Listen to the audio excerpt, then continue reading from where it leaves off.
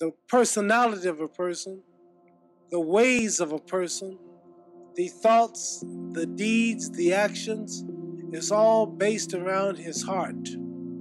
For what is a man? A man is his heart.